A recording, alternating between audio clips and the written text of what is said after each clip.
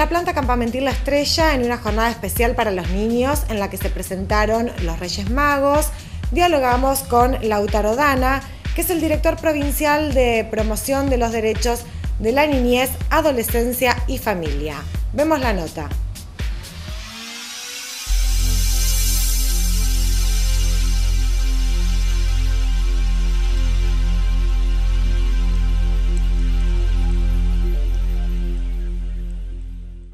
Leopoldo Dana, director provincial de Niñez, Adolescencia y Familia, recorriendo acá algunas instituciones de la localidad de, de Vigán. ¿Cuál es el motivo de la visita? Bueno, es eh, bueno habitualmente ya durante todo el año hemos recorrido muchos, muchas comunas y municipios de la región sur que estaba bueno a mi cargo, en el marco de los cinco hogares provinciales, más los ocho centros de acción familiar y alrededor de 12 instituciones conveniadas que alojan a niños, niñas y adolescentes con quienes venimos trabajando todos los días a partir de las situaciones más complejas, más delicadas, más sensibles.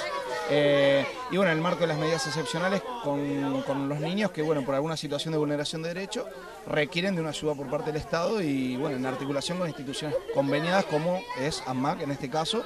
Y también, bueno, acercándonos a, conocer y a intercambiar experiencias y agendar algunas situaciones respecto a equipos técnicos de comunas y municipios que vienen trabajando como aquí la Secretaría de Acción Social.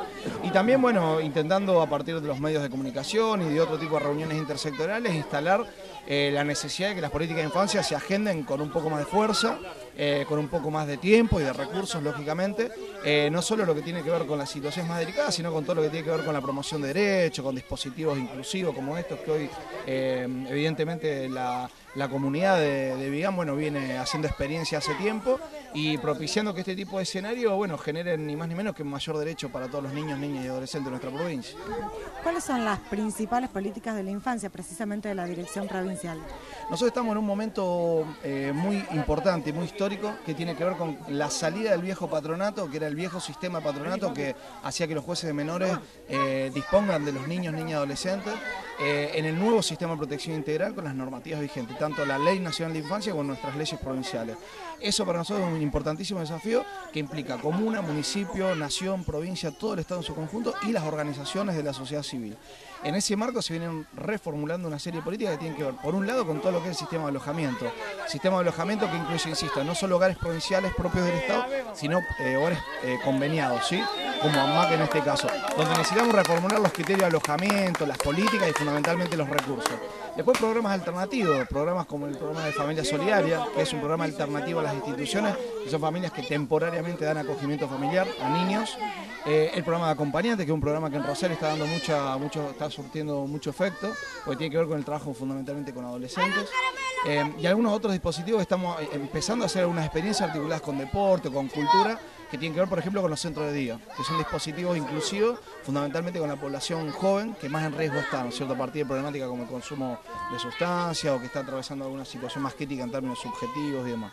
Eh, son algunas de las líneas que están, estamos empezando a pensar, no solamente desde niñez, sino en articulación con educación, con salud, con deporte, eh, con un montón de otros ministerios y en, articulación con los niveles locales, que para nosotros es fundamental, insisto, que las comunas y municipios em, empiecen o profundicen la agenda pública de política de infancia y que puedan poner más equipos, más profesionales, más dispositivos. Bueno, ¿qué pasa con el tema, concretamente con la política de adopción en la provincia de Santa Fe? Siempre sabemos que hay eh, muchos interesados y se encuentran con eh, diferentes tipos de obstáculos a la hora de adoptar. Sí, bueno, esto tiene que ver con lo anterior. El viejo sistema de adopción eh, era un sistema que en el imaginario hoy de nuestra sociedad en su conjunto tiene que ver con esto de la espera durante años y años y años. Y hoy la verdad, y esto también para compartir con la comunidad de Vigán y de la región, hoy en la provincia de Santa Fe, por ejemplo, hay más de 30 niños, niñas y adolescentes mayores a los 8 años están esperando adoptar una familia.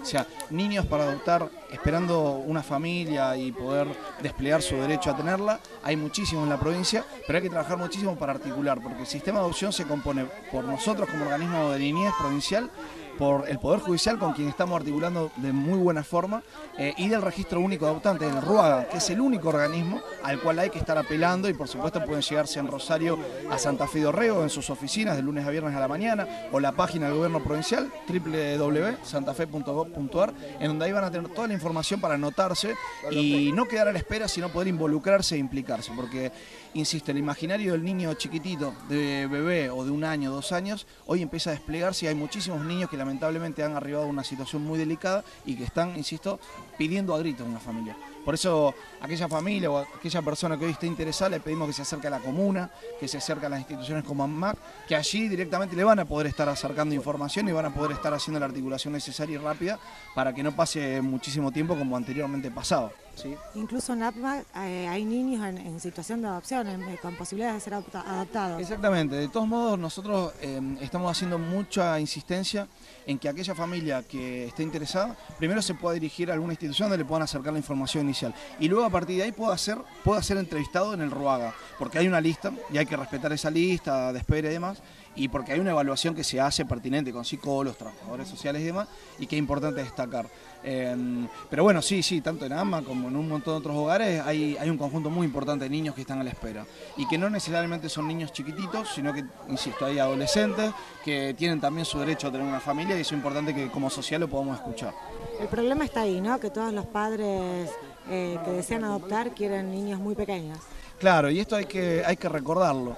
Eh, lo prioritario es el derecho al niño, niña o adolescente a tener una familia. Y no que no y, esa es la prioridad. Y en todo caso es secundario que un adulto tenga derecho a poder adoptar, ¿sí? Eso es el paradigma que ha cambiado. Hoy, hoy el derecho prioritario es el del niño a tener una familia.